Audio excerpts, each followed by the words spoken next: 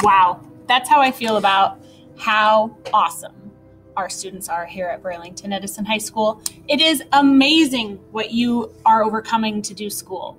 This is a really weird year and it's not easy, but here you are getting up, going to Zooms, turning in your work. Look at us, we're almost to the end of the first semester, and none of us ever wanted it to be this way, but we're still here, we're still doing it.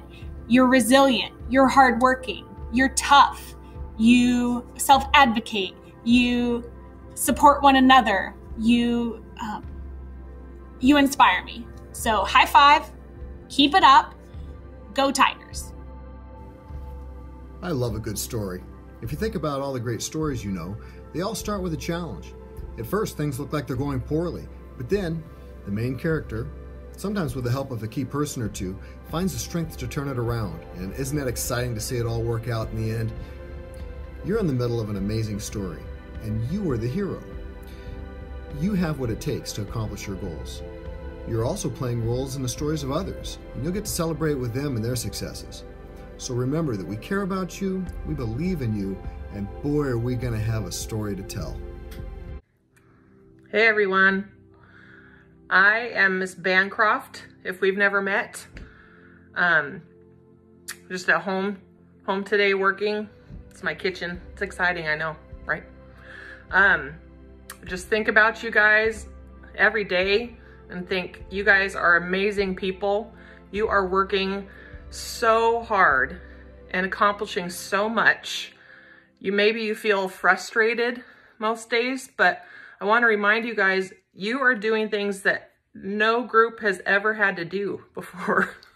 so if you're being hard on yourself, remember, you're the first ones to do this. And you are amazing, legitimately. Your teachers, the staff, everyone from school, we are so ridiculously proud of you. And we are here for you guys every day. If you need something and don't know how to contact someone, just contact any teacher you have an email for. We'll help you get that information.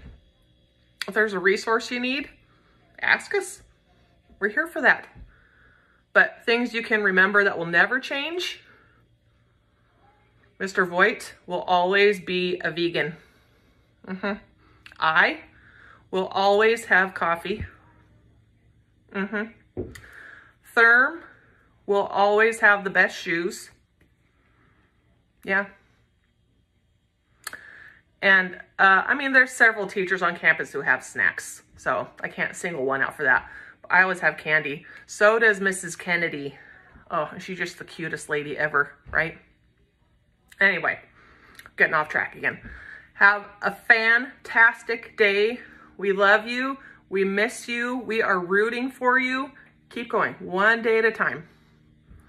Hi, everybody. This is Mrs. Wright. Just want to offer some words of encouragement to finish this semester strong. We're almost to the end of the semester, um, just a few more days to go.